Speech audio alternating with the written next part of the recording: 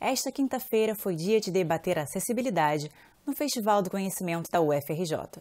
A mesa de abertura do evento trouxe novas análises sobre a inserção de pessoas com deficiência no ensino superior.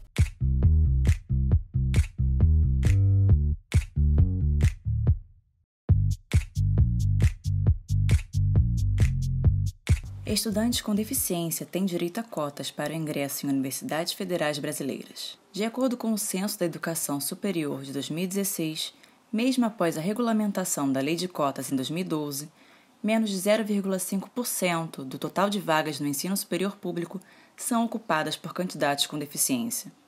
O índice de evasão entre esses alunos é de 27%, número ainda maior quando olhamos para os dados da rede privada essas políticas né, de cotas, eu acho que foram muito importantes para a gente também, eu acho que vocês falaram aí, porque Sim, hoje a escola, a universidade, ela está mais colorida, ela está mais acessível, é, a gente recebe essas pessoas, a gente precisa, inclusive, e essas pessoas agora estão, a gente tem que mudar.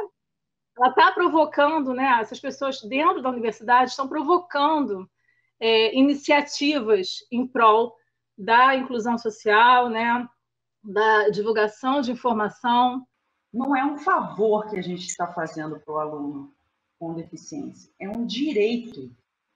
E eu acredito que um dia a gente vai chegar, a gente vai chegar num momento em que a gente não vai precisar mais discutir sobre isso.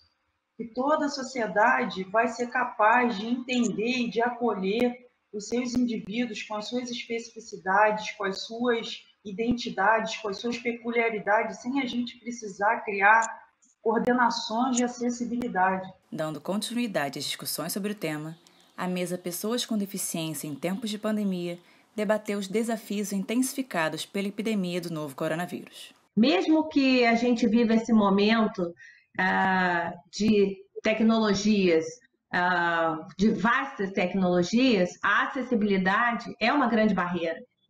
Né? A gente é, pode usar muitas coisas? Pode.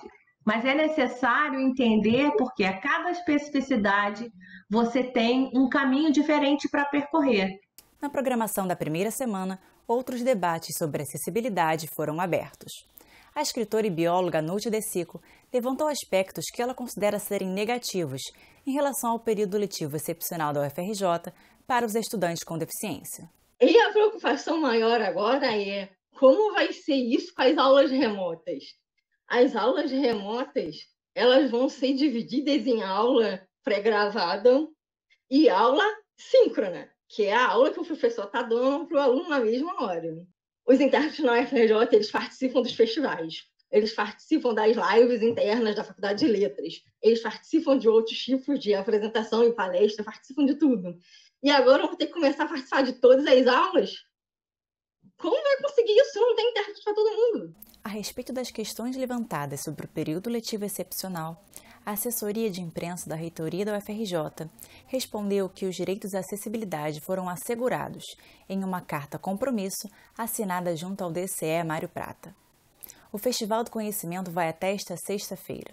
Até lá, fique ligado em nossas redes sociais para não perder nenhum detalhe da programação do evento. Eu sou Vitória Azevedo, de casa, para o TJ UFRJ.